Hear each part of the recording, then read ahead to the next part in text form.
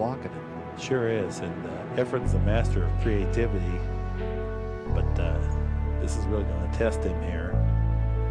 He also has impeccable shot selection. He chooses the shot that offers the best opportunity. He's kind of slightly elevated, so he's going to bounce over the four ball with left-hand English, Jay. Wow. See the action Wow. on the cue ball? Talk about master of creativity. Did you see that shot? That's a shot you might see once in 10 years what he just did.